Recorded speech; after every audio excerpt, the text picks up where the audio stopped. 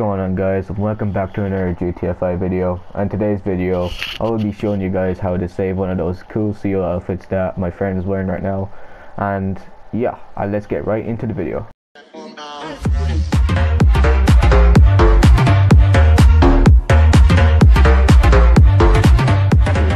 Is all you have to do is to invite your friend to the CEO or MC if you want to do an MC outfit go ahead.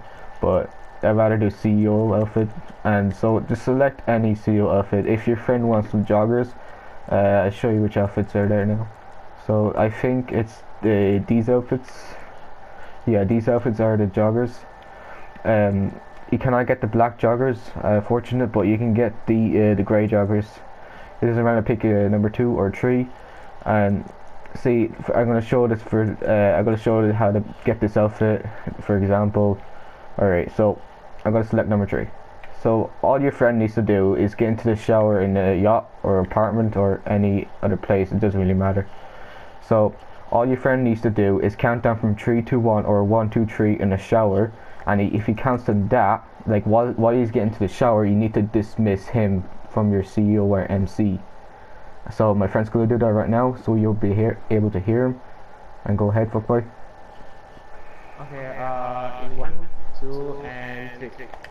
Alright, so you just spam this mouse button, and once he's in the shower, he needs to get back out once he's in, and then once he's out, he can, and he has the CEO outfit, and then all he needs to do to save this outfit is go to the closet right here, save the outfit, or if you want to switch shoes to get like invisible ankles, it's basically like a clothing glitch. So, go uh, fuckboy, go ahead and show them uh, what the invisible ankles looks like. So fuckboy's gonna choose the shoes. You have to go to the shoes section, but don't choose the uh, pants or trousers or cargo pants or anything. Or else will just ruin it. Alright, so look, he he choose any shoes, he choose sandals, and there you go. This is how you get invisible ankles on the joggers.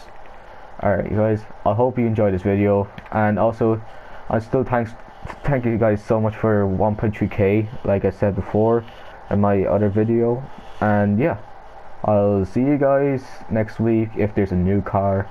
And yeah peace out